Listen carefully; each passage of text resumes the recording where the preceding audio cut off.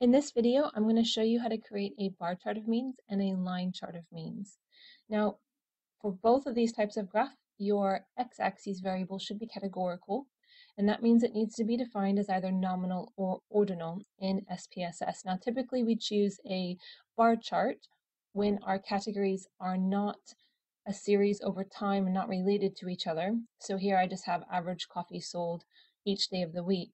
Whereas for my line chart of means, it is showing a progression over time because it's consecutive weeks. Now my SPSS data file, I've got my day of the week variable and I'm going to use coffees sold. So this is showing me the number of coffees sold on each day of the week and I'm going to use it to compute an average. So if we go to graphs and chart builder, and I'm going to choose the first bar chart option. Go ahead and double click or drag it into your gallery. Our categorical variable always goes along the x-axis, so that's my day of the week, and I've defined it here as nominal. On your y-axis, you drag your scale variable for which you want to compute a mean. This will not work if your variable has not been defined as scale.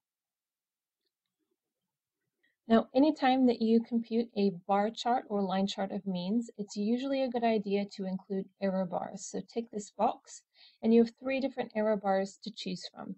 You can show a confidence interval for the mean.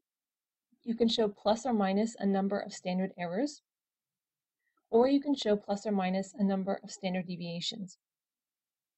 The one that you choose will depend on how you interpret, so make sure that you choose the correct one. And I would suggest having a look at your lecture notes or recommended statistics textbooks, or even journal articles in your field to see what is most commonly used. Go ahead and click Apply, and when you do, you should see your error bars appear in your graph. Now remember, this is just an image, it's not your data, so don't worry if it doesn't look correct. Go ahead and click OK.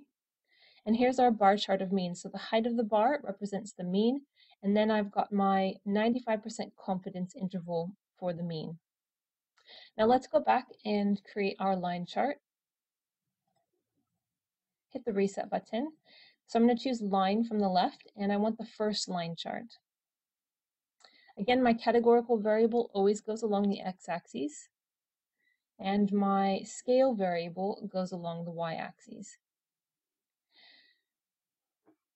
Again, because this is a chart of means, I do want to display error bars, and I'm going to continue with a confidence interval for the mean, and click Apply. Go ahead and click OK.